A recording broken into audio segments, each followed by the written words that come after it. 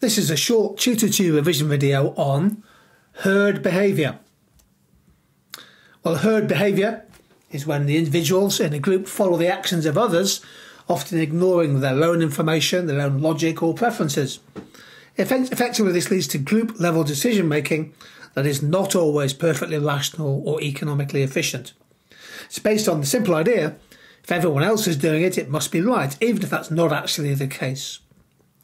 So herding means following group behaviour rather than individual uh, logic. It's driven clearly by peer influence, social pressures, or the fear of missing out, FOMO.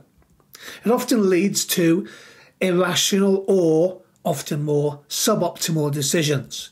And it can happen across economics from micro to macro, in financial markets, in individual consumer behaviour, or in crisis situations. Now, herd behaviour is strongly tied to uncertainty and information asymmetry. So, link this please to information failure. People follow others because they don't trust their own knowledge.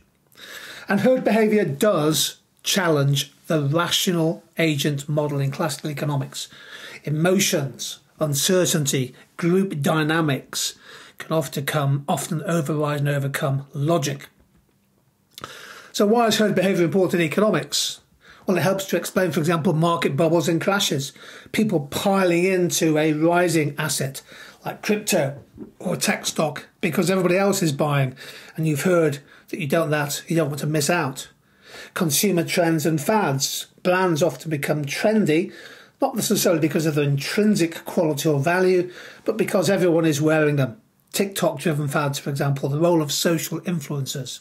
And people tend to imitate choices they see as socially acceptable, particularly amongst teenagers and other younger groups. And bank runs. We see herd behaviour in financial markets. If a few people start withdrawing money, fearing a bank collapse, others may following, follow, causing a liquidity crisis, even if the bank was stable. So it's a perfect example of herd behaviour triggering systemic risk. So please be aware of herd behaviour as you study financial economics and understand how it can be linked into information failure and behavioural economics.